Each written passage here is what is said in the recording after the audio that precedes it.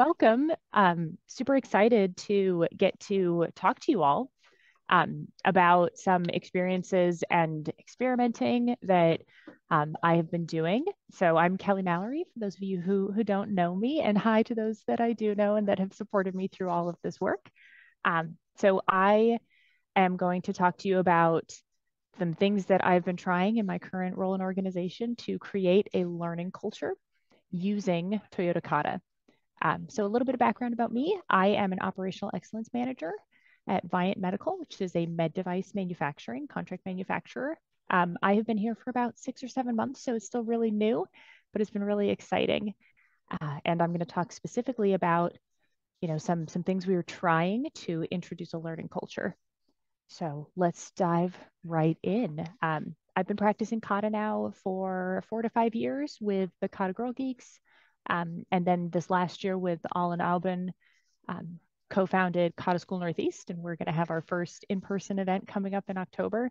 So I've had a lot of practice uh, with the improvement in coaching kata, and my experience in you know rolling it out to organizations has been a little bit limited. So this was the opportunity to really try um, different methods to introduce the kata, and with the goal of creating a learning culture so when I came into this work, I set a challenge up because I am a kata geek. So our challenge, my challenge in this role is wouldn't it be wonderful if by December 31st, 2024, we have structures that engage everyone in improving their work every day so that we build a culture of learning and improvement where everyone feels valued.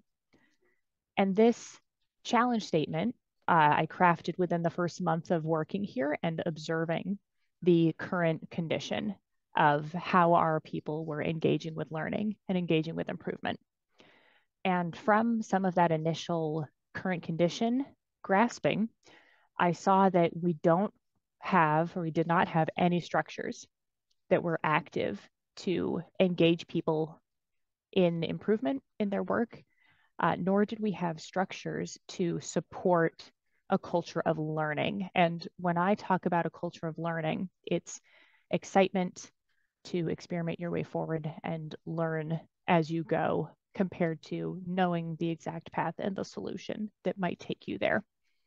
So, with this challenge in mind and understanding that it was really an open sandbox to play in, we started, I started thinking about how can I begin to engage my organization and my team in this thinking pattern. And going into this, I had a couple of expectations up front about the necessary immediate conditions that would have to occur. And the first is to have a culture where learning is important, you have to create a safe space for learning. And that means psychological safety. It means that we need to create time for learning. So find things that are um, not the most urgent things that we can learn about and work on to improve. And so that was condition one from an expectation perspective. And then the second one was wanting to get people excited about learning. Uh, and my expectation and hypothesis here was that if if we could create the condition and the environment where learning was valued and people felt safe doing it, they would become excited about being in a learning environment and would be more engaged with their work and want to improve it more. So this was kind of what what I was expecting going in. And through the first set of experiments that we ran, um, we found some really interesting things. But before we could really get into trying anything in our organization, we just talk about kind of what I consider a little bit of an elephant so working in med device or any kind of highly regulated industry means there's a lot of red tape for a good reason. So I came from aviation previously, so we worked with the FAA, and here it's the FDA. And these organizations and regulations are very important for safety and quality of the end user. And so it felt very constraining at first to say, what can we experiment on? Where can we make change? And everywhere I looked, it felt like we were bound by this red tape. And instead of getting bogged down by this. Looking at it, decided we decided to say, okay, we know that there are things we cannot touch because of regulation. We know that there will be things that we won't be able to just experiment on every day. So let's bound that. Let's get those in the open and understand what can we touch? What can we experiment on? What is going to be safe and okay for us to do so that when we begin to roll out uh, experimenting on our processes, we all have an understanding of what that looks like. So this was a really important first step as a leadership team going into this to say, what can we touch? What can we not touch? And so what we did was we started defining our sandbox. So we decided what are the things that we can play with in the sandbox and what are the things that we cannot touch outside of the sandbox. So one of the first things we agreed on, well, we, we need to make sure that we are not impacting production because the devices we make are critical to patients. So we need to maintain that. So whatever we do, however we experiment, we need to make sure that we continue with our current level of production. The next major thing that we determined was outside of our sandbox uh, was our work instructions. And this is our quality system that determines uh, how a product is to be made so that it is safe and functional for patients. So this was a, a very clear outside of the sandbox item. So we needed to make sure that we never deviated from any of the documentation from our quality system. We then decided that true to a lot of lean cultures, right, we didn't want to spend any additional money because a lot of the time, if we were going to make an investment like that, we would need to go through customers to ensure that they were um, involved and engaged and would provide some of that for us. And in the context of daily experimenting, that was going to be another situation where that was outside of the bounds of what we could touch. And again, due to the nature of the work, we were in a situation where we needed to make sure we didn't have too many additional materials prepared ahead of time on any given line, because that would cause risks to quality of the product coming out. And that was a non negotiable. So once our team was able to define the boundaries of our sandbox, we then could talk about okay, what is in scope? What is in our sandbox that we can experiment against and play with that doesn't affect these other elements? And the first one was we can 100% touch how we balance a labor on any given line. That is something that is fully in our control and it will not impact these other items. We then determined that we could play with material flow as well. So we know that we can change and adjust material flows inside of our normal processes, as long as that wasn't dictated by our standard quality documentation. And then the last thing was we know that we could move certain things. And so we drew a line on what was capable of moving and what was not capable of moving. And there are certain pieces of equipment that in our quality system were absolutely okay to move. And then there were certain ones that were not. So we, again, made sure we understood that fully before moving forward. And I would definitely recommend if you're going to pursue um, experimentation and developing a learning culture, really have a look at your process and determine and draw the lines on what can and cannot be touched because this is something that I had experimented with in a previous organization, and this was a massive hangup that caused it to fall flat. So, first step definitely define the boundaries of what you are able to experiment on. So, then what we did from here is we had a, a team leader who we had a process and a product that we needed to make improvement on. And this was a great time and opportunity to introduce the concept of the improvement kata and how we wanted to approach experimenting with them um, in order to improve their line. So we brought them together with their supervisor and their support team, and we shared a challenge statement with them. So we gave them a challenge statement of by April 5th, 2024, the line that they were working on would now operate as a flow cell, achieving an output of 300 pieces per shift. And the reason was so that we could continue to grow and improve this relationship with this customer and win more business with them. And so this was a true thing that we were aiming for as a, an organization and team. And so we started this team leader with their challenge statement and making sure they understood what we were trying to achieve and why. And then we did a really brief introduction to the steps of the improvement kata. Very brief. Um, and in, in good news, I will say, the organization here has past experience with lean um, and improvement events. And they generally ran in a similar fashion to the overall steps of the improvement kata. So none of that was a massive surprise. And so when introducing this to them, it was easy to frame it in a way that aligned with the organization's previous experience with improvement.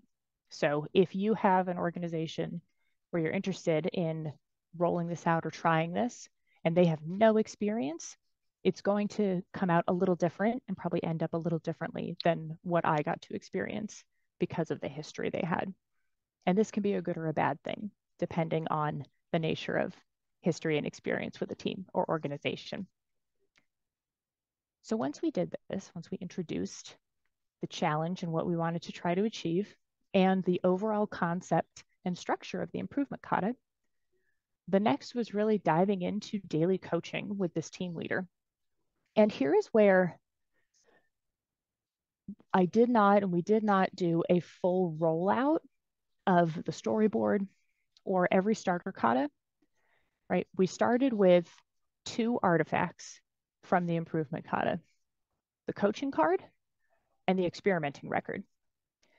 And as we started working on this with this team leader, I would go through the standard five questions. And there were moments when I had to, you know, dig a little deeper in explaining what some of the terminology meant. But overall, walking through the coaching cycle day in and day out for those periods, those weeks that we worked on this, they began to familiarize with the language and knew in general what I was asking about and why I was asking about it. And we were able to set up daily experiments.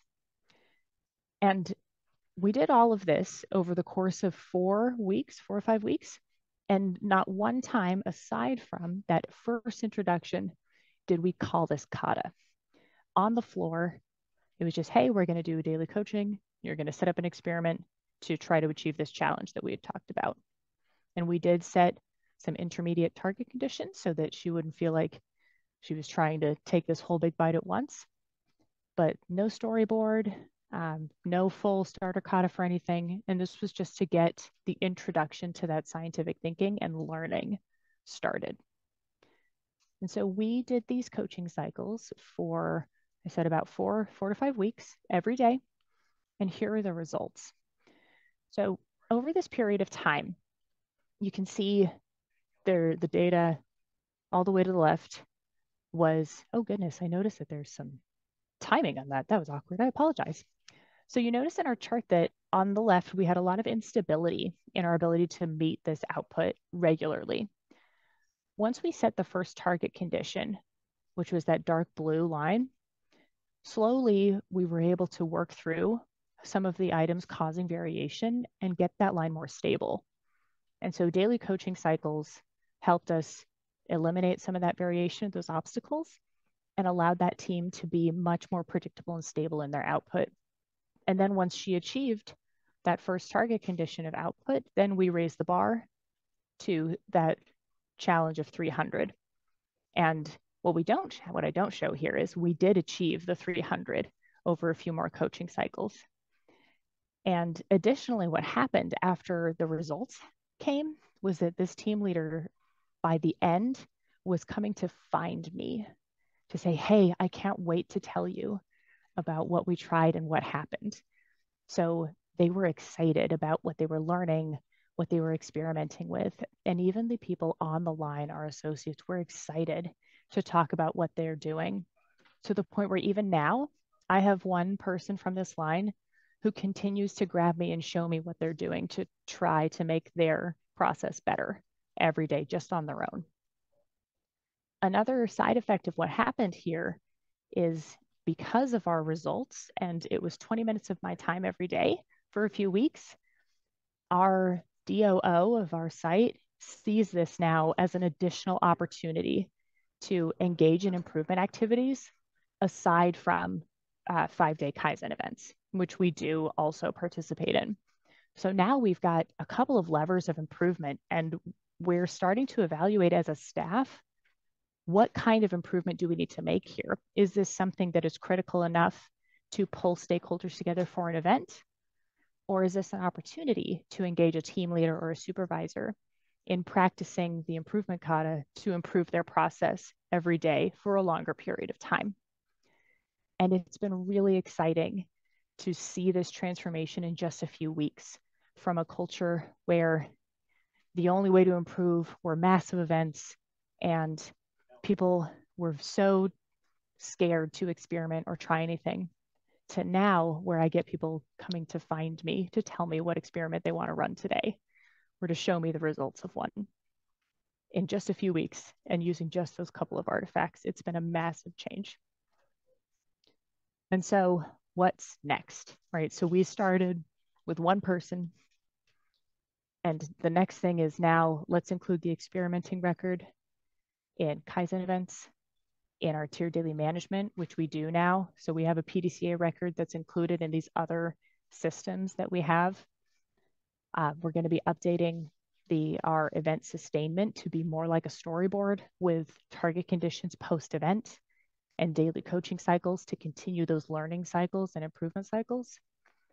And then the last thing I'm aiming to do is to improve the coaching kata card in our leadership Gemba walks so that as leaders, when we come to the floor to ask how things are going, we're intentional with asking people, what did you learn from your last experiment? And what are you going to try next? And with all of this, I'm expecting, I'm hypothesizing that we'll have full structures for engaging our entire site in this learning culture. And that flywheel that will start will cascade and snowball. And soon I'll have many, many people coming to me to show me what they've been working on and what their experiment is. And that is what I have tried so far and wanted to share with the greater community. And hopefully, you know, one or one or two things from this have kind of sparked thoughts on how you might be able to go get started. Ellie, I do have a question. I am sending it to you now. Lovely. Okay, so I'll read the question. So it's how have you managed situations where you thought someone could be a good kata learner or coach and they just outright refused? What a great question. I have been very thoughtful with this about um, at first when I was going to engage people in practicing the improvement in coaching kata, I was of the mind that you know everybody should learn this and everybody will will do this. And um, I ran into a lot of resistance, not surprisingly. And what I what I figured out, and this is just my approach with this, um, is that this is just like any other new thing or new new product, new um, process, latest and greatest thing. You're not going to get there by trying to force people to do it. You need to find the early adopters, and they are out there. So, honestly, when I'm starting with somebody, I do not even worry about the people that just refuse. If you find the early adopters and you get enough of them involved, and you show the results, then the people who wait and see will get interested and come on board. And there will always be the that tail of the bar of the bell curve that's just not interested. And I'm I'm approaching this from the perspective of it's not going to be a requirement necessarily at this time. It's more about engaging the people that can be engaged at this point. I hope that helps. I know it's not you know a silver bullet to get all those other people involved but I, that's where i would start at least start with the people who want to because it's enough of a lift to teach somebody the improvement kata and coach them thank you a few more questions yeah. yes there are a few more okay as long as you can see them we're good Yes. So I've got how long did it take days to complete a cycle? Um, so I'm I'm going to infer a little bit about this question. So David, if if this doesn't answer, please um, add some clarification for me. I'm assuming that you're asking to complete a coaching cycle or an experimenting cycle. Um, and so we did one cycle every day. So it was it was a lot for the team leaders. So we were very thoughtful about what experiment could they run inside of a day. And if they couldn't, right, I, I did have moments where my team lead had every intention of of running the step. Um, and then the next day we came in and she's like, you know, I didn't get to it. And that's okay. We, I said, hey, don't worry. What obstacles prevented you from taking the step? And just went through the coaching as normal. But we tried to scope the experiments to allow her to do them within a single day so that we could keep the cycle of learning continually going.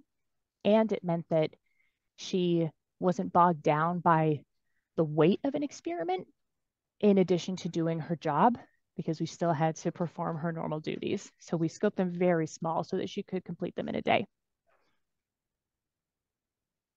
All right, then I've got what can we do when you do not see many changes from the beginning and the people start to demotivate? Uh, that's a great question. And I know I've, i see some fellow coaches on this call. Um, one really challenging thing when you're going to coach somebody through the improvement kata is you have to ensure that they get some quick wins so that they stay motivated. And so part of part of my job was helping guide this team leader toward paths that I knew would yield some result so that she would stay engaged and stay motivated and want to keep doing it. Because you're absolutely right. Um, if you don't see any change or any results, it is really hard. So part of my job was to help find those ones, those experiments that would yield something for her so that she would stay engaged and motivated. Oh. All right. Next question. Okay, good. Jared, yep. So do you now start with kata and those then help lead to Kaizen events? That's a great question. I haven't yet, but I can absolutely see how that would that would work where you start with and that doesn't mean that I that I won't run into that, but we haven't yet, where you start with a challenge and you experiment and you might run up against obstacles that are too big for the learner. And those are great candidates for Kaizen events. Um, how I'm approaching it with events is we, right, like I'm in an event this week.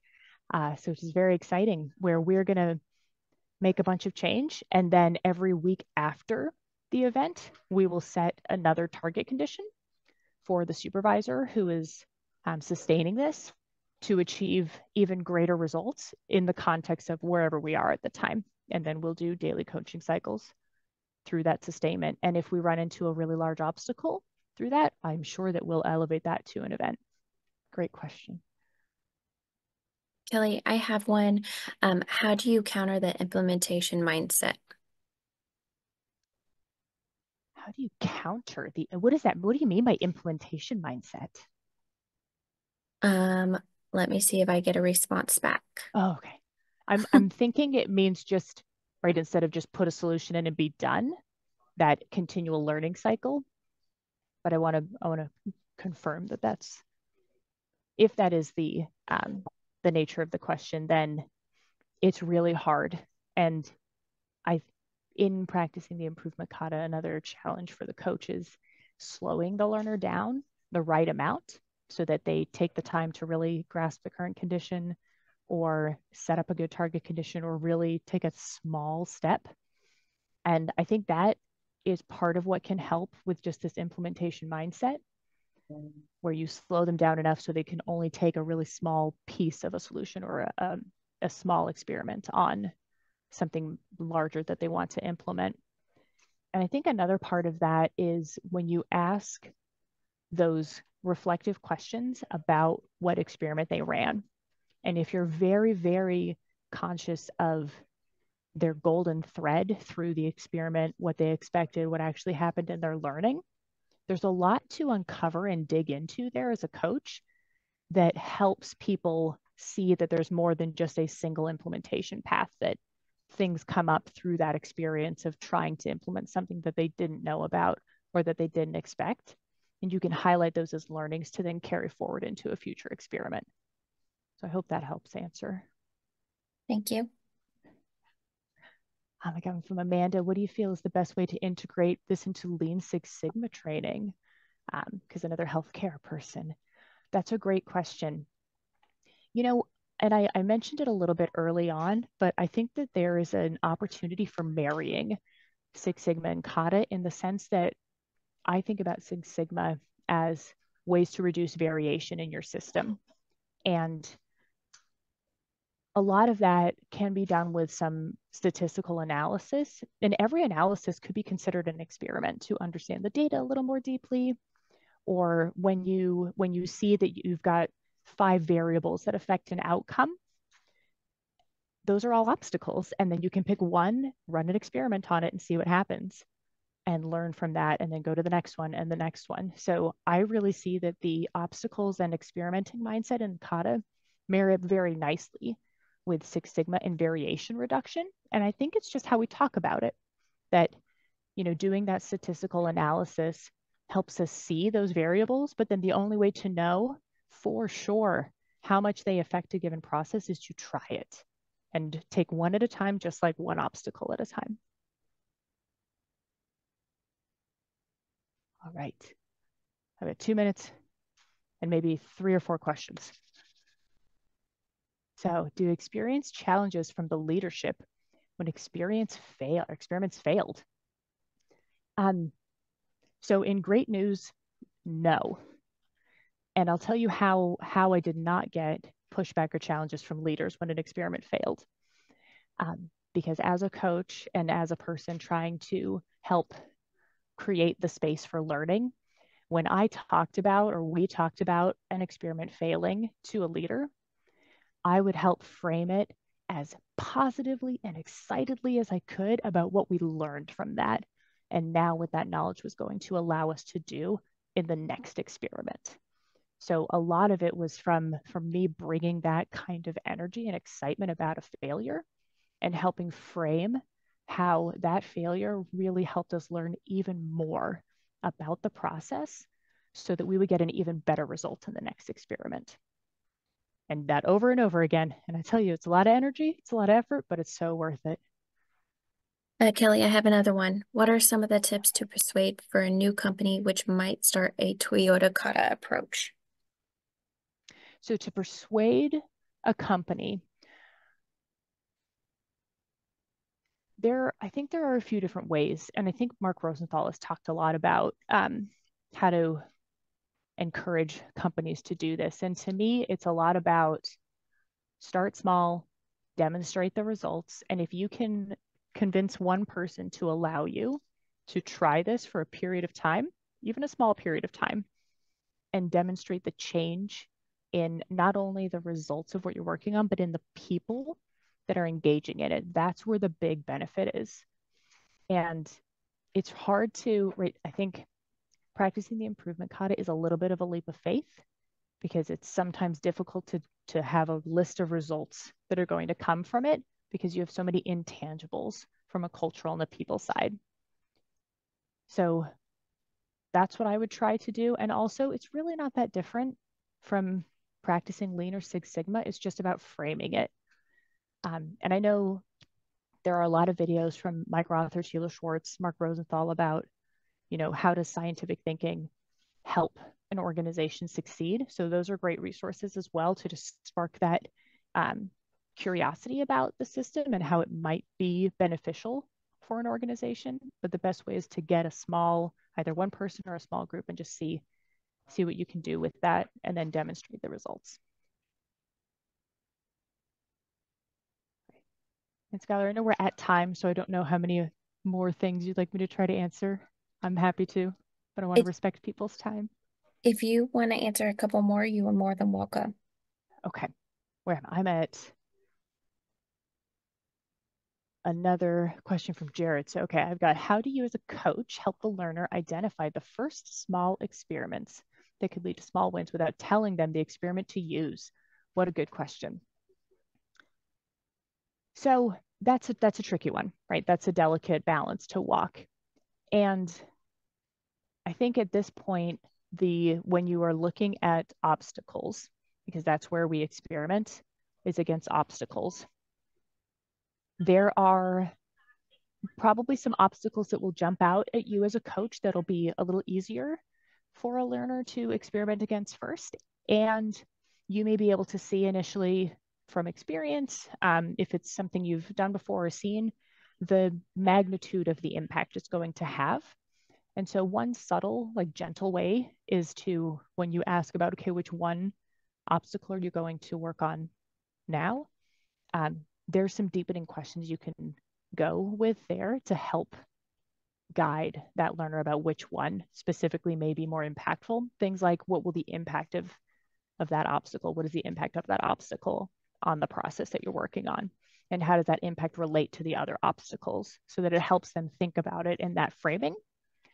Um, and and sometimes you you have to just let them pick an obstacle and experiment and they'll learn about the impact of that. And it's okay if it's not, you know, a, a big massive result as long as they're learning and they're engaged. And a lot of that's going to come from how you come into a coaching cycle.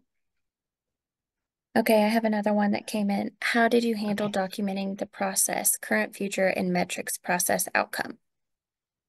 Ah, good question. So in great news, you saw in some of those pictures, um, I had my learner write down experiments on the PDCA sheet. So that's our documentation.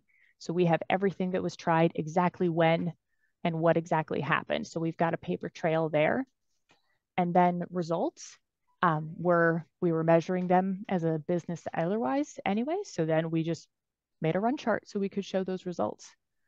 Um, from a, you know, a regulated um, industry and business, now after those experiments, now it's about take what has happened, what has changed, and go through your standard document updating process. So we have our standards here about how we update documents for our quality systems. So once you have those initial um, experiments done, and you have that, that paper record of what they've done, then you can take that and really solidify it. All right, and I think this is our last question. What does sustainability look like with this improvement kata example? Will you continue to be involved coaching the lead once the target is achieved? What a good question as well. So, in an ideal, my aim is to um, be the first to inject this into um, a team or a, a person at this point. And then the goal is to back away by having their leader, their direct leader, come into the coaching cycles and observe. And so I had this supervisor of this team leader observe some of my coaching cycles so they could see what it was about, how I was handling them, and and that sort. Because the ideal state is that I am coaching those people to be coaches. And so the next step for me in that context is to get the supervisors involved in their own challenge and have them practice and I will coach them and work my way through the organization until we have this beautiful chain of coaching and learning. Awesome. Thank you so much, Kelly. Thank you to everybody who attended today's session. Kelly, as always, it's always a pleasure talking to you. And everybody, have a great rest of your day. We will see you later.